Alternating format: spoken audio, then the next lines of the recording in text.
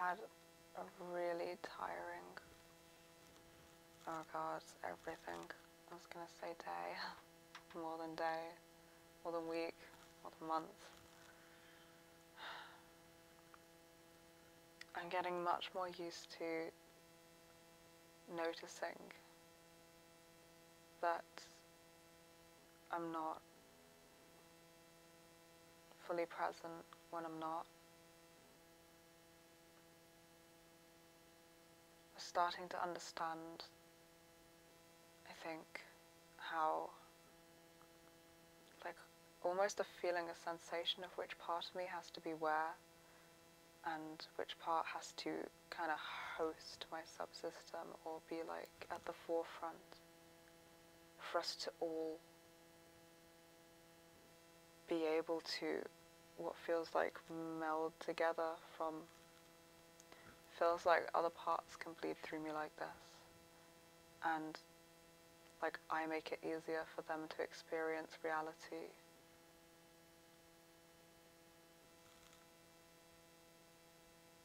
in levels that they couldn't get so close to. And like what they bleed into me gives me these channels to feel connected to our body, to our emotions,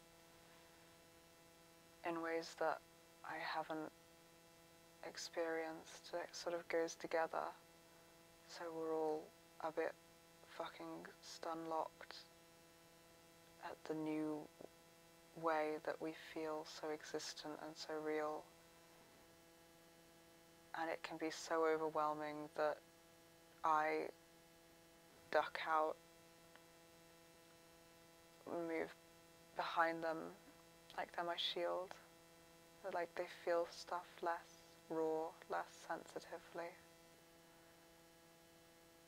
I think this is why when we were six or seven, I split off into a persecutor and a vampire alter. Like my experience of being alive, I had to cut off from it, and I did feel like I died. And now, fusing with other parts of me and feeling like I'm coming back to life, we're starting to feel really alive. And like, I sort of feel like we were vaguely this shape. When we were young before that, back when I used to go by the name Violet.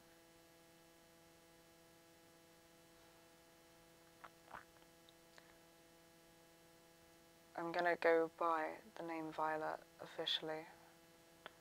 For now, at least.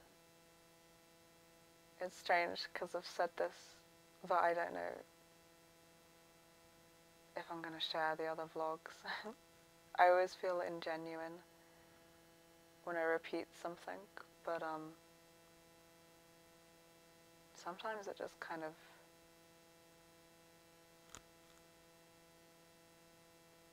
it bears repeating. It comes out however it comes out, and the other vlogs.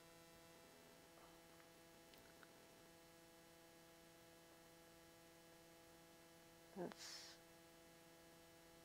more for helping me piece things together, may or may not share the information. The brain's trained through repetition as well, so it's not like it hurts me. It does bother me though, which is why this has even come up.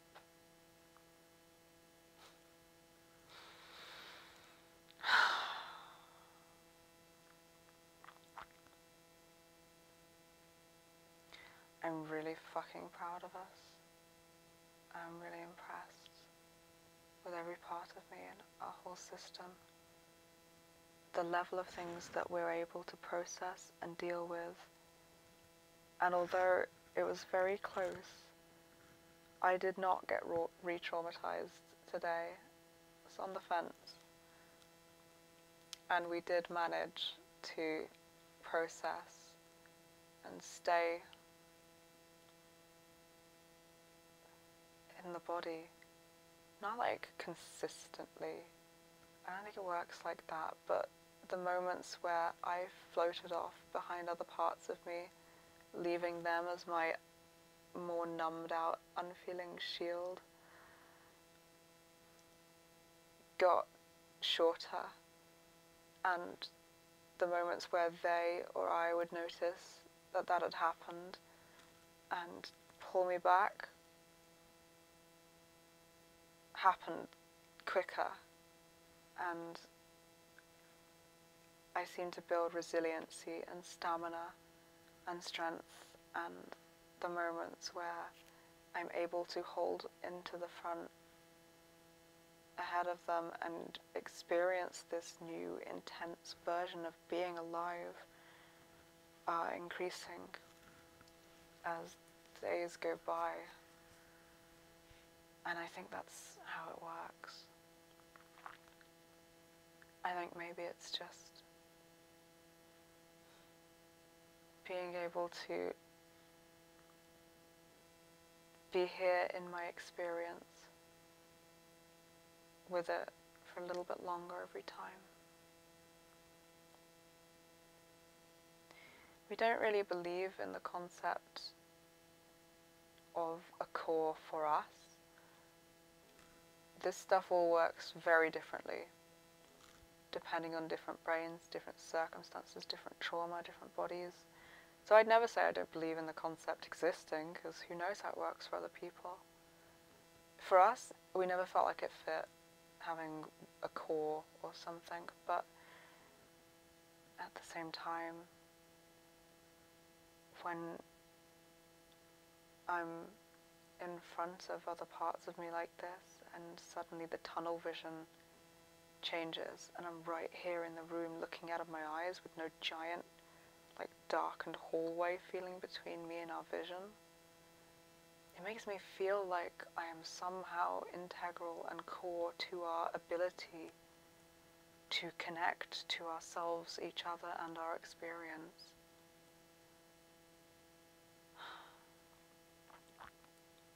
And like, the more other parts who were split off at a young age, who were largely animal alters, and and kids in me. There's more those sort of bleed into me from behind, the more I feel like fleshed out and the more intense my ability to experience things in sort of seem to get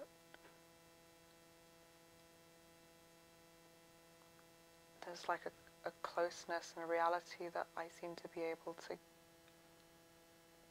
well that I feel that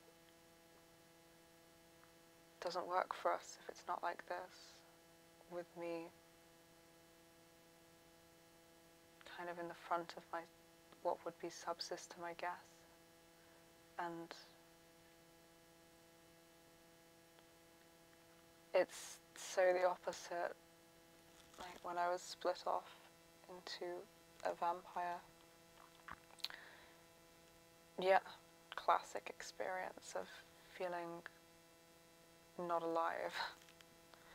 I was so cut off from all of these things. And the more connected I get to other parts of me, the more it, it feels like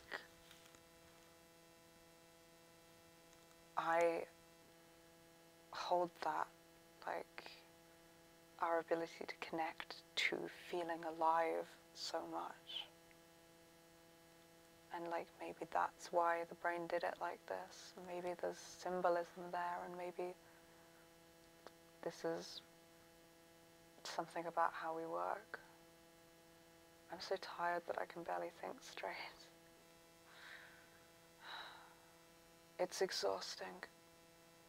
It's so fucking exhausting when you're not used to experiencing things so much and as so real and feeling so much like an actual existent embodied person who's observable and everything.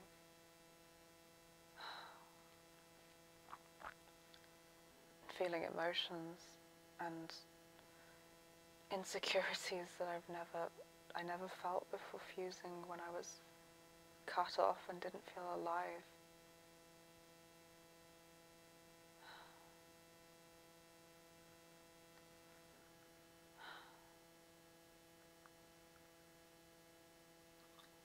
Think this is why there's so many moments in a day where I'll be shocked back or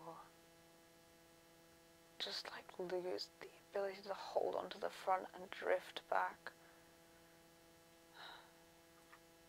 Either he or a part of me catches it though. And sort of gets my attention, I can zoom back in. I get like the feeling of awareness, of existence, the feeling that I exist, that I'm here, but I'm not quite grounded. The feeling that I'm not quite here, but the awareness that I exist enough to have it. And then I can kind of pull myself to the front, grounding, which takes like every ounce of strength I have. It's like trying to fight your way out of being stuck in a stare, but from all the way back there and it's so hard to even move.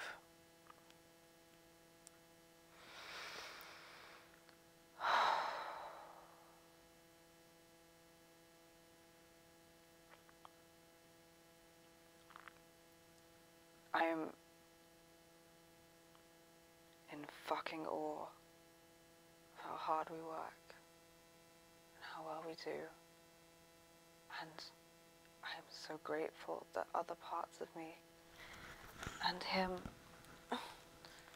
can catch this and pull me back and do. I really feel like everyone in this system has my back. Me and him and all of us. I'm starting to even feel like I do. Like, it's fucking amazing how much I can trust myself.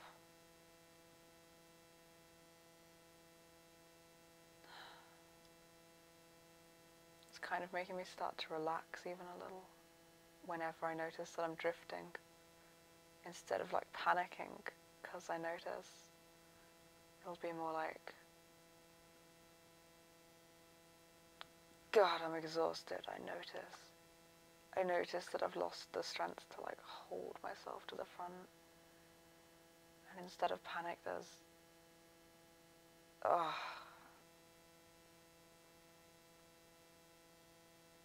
and give it a second and I'll be back. Someone will pull me back. I'll pull myself back. It's like the knowledge, the security that I will be okay and I will get back into the front and my body. Not like the feeling that I'm doing something wrong every time I lose connection with it. and drift back in. Just the acknowledgement of how fucking exhausting it is. It's almost like the gravity fucking goes. Or reverses, I have to pull myself through it.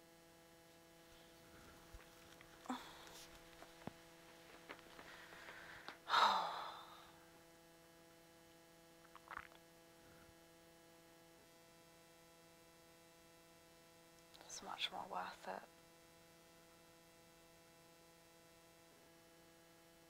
It's even worth feeling insecure and worried and like all of the mental health things that I have to learn to compensate for. It's worth all of those things to feel like I exist as a person and so does the world around me and I can really be in it aware of myself as well as my surroundings. Not just like cognitively know they're there. Like physically be in them, feel them and me. It's like there's this level of intrinsic relaxation, security, comfort.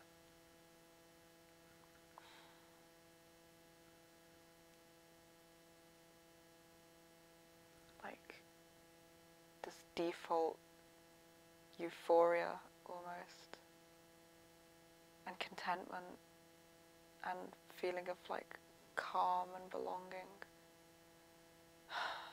Makes me just want to sigh and cry all the time and makes everything I'm doing fucking amazing because I'm actually doing whatever I'm doing.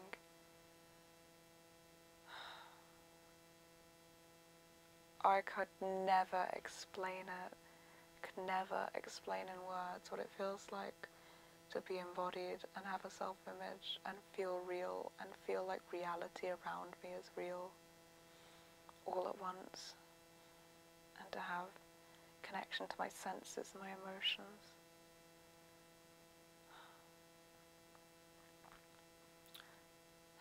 It's like the sort of high I've always been chasing with various alcohols and intoxicants my whole life.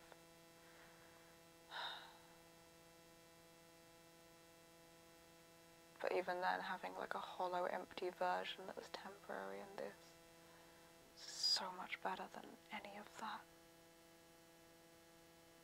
It's really hard work, yeah.